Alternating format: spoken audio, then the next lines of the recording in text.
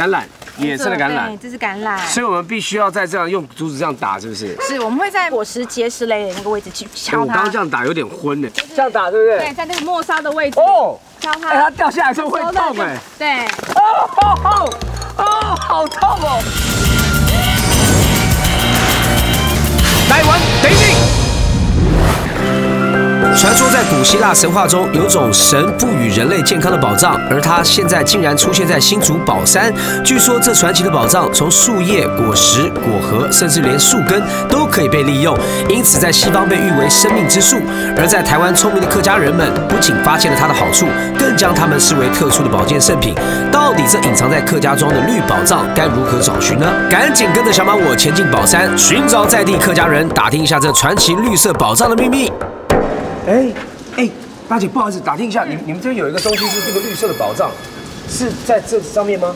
就是你现在看到的这个啊。不会吧？你把绿色宝藏放在门口啊？感觉到这是嫩叶没错，因为等一下呢，就要用它来做好吃的早餐。啊，它上面那是什么东西？一点点像颗粒一样的，这是它分泌出来的汁液，分泌出来的汁液。对，那这从它毛细孔里面透出来的。这个果子也可以吃吗？可以，但是要等它更熟一点、更大颗一点的时候吃会更好吃。啊，为什么这个叫宝藏呢？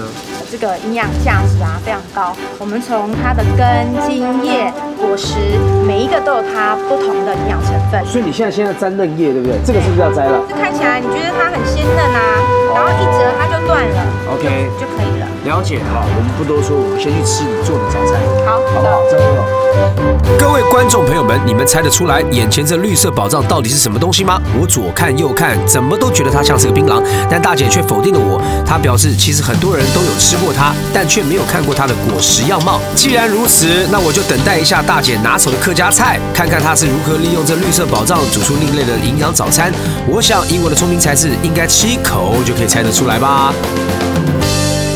来，早餐，早餐就要来点稀饭，对不对？哎，你这个拿那个嫩叶来做稀饭厉害了哦。哎，不对，嫩叶在这里，哎，对，那哎炒过就那会黄啦。那这是什么？这不是嫩叶，这是什么？这就是绿色蔬菜啊，这就是绿色蔬菜。对，那就是绿色蔬菜而已。是啊，那绿色宝物除了这个这样子的，这里面还有一个，哎这里，啊这就是这是刚才那个那个树上的果实吗？对对对，经过煮熟之后，不像刚才一样是绿色的。嗯，底是什么东西啊？嗯，很硬哎。对，很硬。哎，你吃得出来吗？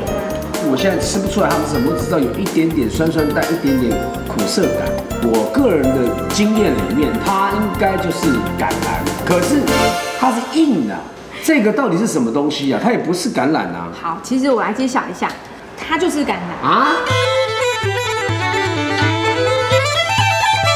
小妹，没想到真的给我猜中了，原来这就是橄榄呐、不过大姐强调，橄榄其实有分多个品种，而刚刚我们在门口看到的是外来种四季橄榄，所以果实会比台湾土生的坚仁橄榄大上许多。而吃完营养早餐补充体力之后呢，大姐即将带我去采收土生的坚仁橄榄。听说它有这种特殊的采收方式，一般人是很少有机会可以体验到的哦。那还等什么？赶紧出发啦！这时大姐却要我别着急，因为在开始采收之前，得先在高挺的橄榄树下铺上白布，才能够开始动作哦。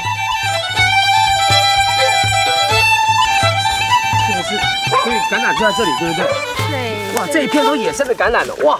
哎呦，这样打的哦，这个哎呦，这上面都是橄榄，是不是对？对对对对，怎么会这么多？来，哎哎哎哎呦我这带起来。斗笠啊，对，我们都戴斗笠啦。斗斗斗笠对对我来讲好像不不太行哎。不太行哈。对对对，那你对觉得？因为本身我是玩命光头吧，我的光头是我的标志，对。好那你要带这个我我自备，我自备，我自好备。对，橄榄，野生的橄榄对，，这是橄榄。所以我们必须要在这样用竹子这样打，是不是？是，我们会在果实结实类的那个位置去敲它我刚刚这。样打有点昏呢，这样打对不对？对，在那个末梢的位置哦，敲它。哎，它掉下来的时候会痛哎。对，哦哦哦哦，好痛哦！采收的时候都会瀑布，对不对？对瀑布就在这个橄榄的正下方。我这样子我这样子所以你要往内插。我这样子对不对对，你就不要打没事嘛。对不对对，真的不会打到我自己的嘛，对不对？你看到没有？哎，你好出事了。哎，大姐，我发觉不对。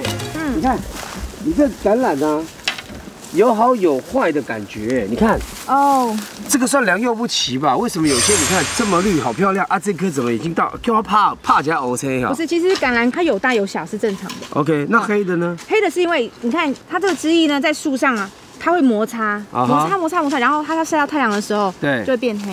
所以这个不是不是因为坏掉，它只是可能就是穿了比较不好看的衣服，然后被太阳晒得比较黑一点而已。但是这个都还是很有营养价值，哦，这个应该可以生吃吧？可以。新加坡人最爱生吃，生吃。嗯，我一开始听到也很惊讶，因为我自己这个这个的硬度很像槟榔哎。呃好比槟榔再硬一点，因为这百分之四十三点多都是纤维，不可溶性的纤维。哦，好硬哦。不要一下咬太多，你先咬前面一点点，那个酸涩就会出来。可是我可以我可以吃到橄榄油的味道。嗯有。一整天嘴巴都会回甘，都那种甘甜甘甜清香的味道。嗯，可是我还是觉得有一种涩涩的感觉。嗯，那你知道那涩是什么吗？是什么？那涩就是酚类化合物，什么意思？它就是专门拿来做消炎用的，就是它可以就是抗氧化、抗菌，嗯哼，它就是我们的核心价值。，OK。然后呢，全台湾目前大概有四十几万株，是从我们这里发展出去的对就动，对不对？你是客家人，哎宝山，对，你是客家人吗我？是客家人，真的哈，那橄榄树的客家话怎么讲？呃，尬兰树。橄榄树。大家讲一句客家话，有必要大家要这么开心吗？好好，听啊！很好听啊！再讲一遍？再讲一遍一二三，橄榄树。嗯，新竹县宝山乡因为有山坡地利之便，再加上阳光充裕、气候干燥、排水设备佳，非常适合橄榄树的生长，因此这里所产的橄榄远近驰名，大约占了全台湾半数以上。而早期客家人在山区生活，如果食物来源不足，土生的橄榄就成了补充磷、钙与微量蛋白质的最佳食品，甚至他们还会采收土生橄榄腌制、储存，到山下交换食物，这也促使腌橄榄成为早期台湾最常见的零食。大姐，哇，好好的，你干嘛把它敲开来啊？因为我们要来你看它有多硬，要用到这个东西，对肉粘，反正只要把它打开就好了，对不对？哎，厉害了，要不然我就加快速度，好，好不好？我就耍狠了，你的手指头千万不要靠过来，弹出去了，弹出去了。这个橄榄是已经煮过的喽。已经煮过的了，对，因为我刚刚手摸起来是热热的，很烫的。来，里面要放些什么东西？还是要破坏它的那个对破坏它的纤维纤维。对，所以我们去敲打它，然后加点盐巴，让它可以那个酸性啊，可以不要这么重。然后呢，再加一真的是点糖真的是很棒下去好，加点糖好，哎，又是加盐又加糖，又要三分钟五分对钟。，这样比较好入味。哇，所以在这附近，如果听到这样的声音，就代表那个人在做橄榄的蜜饯，对，就是家里面挨家户户听都到了，要吃橄榄了。这好像手摇茶店里面那个娃娃一样。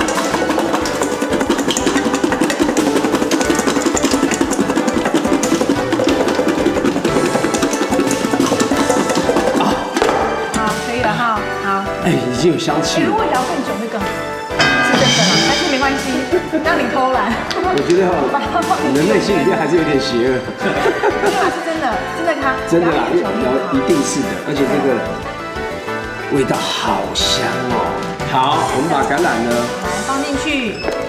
呃，原则上就是一层的橄榄，嗯一层的糖，就是用一般的红砂糖就可以了。红砂糖就可以了。好然后，OK，加一点这个，干草片，对，然后呢盖起来，盖起来。对，这样就好了。橄榄蜜饯的方法是这样，但是要放多久？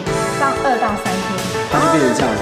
这个我们大概腌了差不多有六天，所以这个汁是甜的，甜的，你就会偷偷看，它一样有一种淡淡的一种说不出的清香的味道。然后你试试看。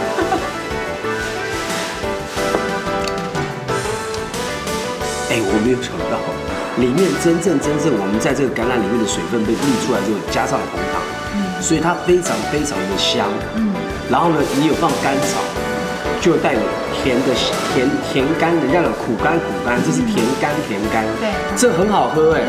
那我现在更迫不及待要来吃这个橄榄肉，没有那么硬，比你刚刚煮那个早餐软多了，对，因为毕竟这是腌了五六天，好爽口。很爽口，嗯还可以吃点有辣的。嗯，哎，嗯，哇，好好吃哦！因为加了辣椒，它变成是一个，我们可能家里面有时候我们在请朋友来吃饭的时候，这可能是一道前菜，对，当点心。因为它让你开胃，口，非常好。哦，好好吃哦！哇，所以一口接一口停不下来。真的，橄榄多跟健康多温